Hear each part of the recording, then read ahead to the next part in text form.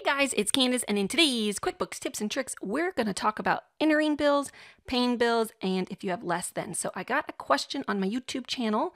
Thank you for the question. They wanted to know they they entered several bills and for one company and they want to make a partial payment. How do you do that? Because what's happening is automatically it's paying more than.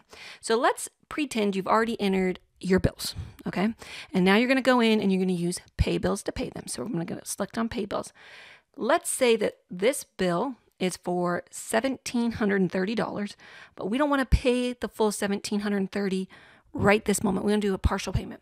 What you're going to do is you're just going to go over here to amount to pay. See how there's a place for me to highlight it? And I can change this to say $500, $1,000, whatever amount you're actually paying, you could put that in there. Then you would walk on through, go through the rest of it, and pay. You go down here to the bottom, you're going to enter the date that you're paying it. Let's say we were paying it for today. What type of payment you're making, if it's a through your bank account or through your credit card, you would choose credit card here and then the bank account you're paying it with, and you pay selected. If you have three or four invoices, but you're not going to pay the full amount on the last invoice, you can click it like this and have a thousand here and 1500. You can adjust these to be any amount of money that you want.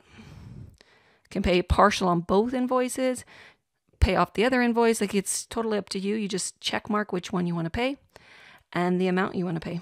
All right. So I hope that answers your question feel free to comment down below. And if you enjoy my tips and tricks, don't forget to subscribe. If you want to get them in your inbox so you don't miss any, go up above or down below and click on the link to subscribe to my tips and tricks.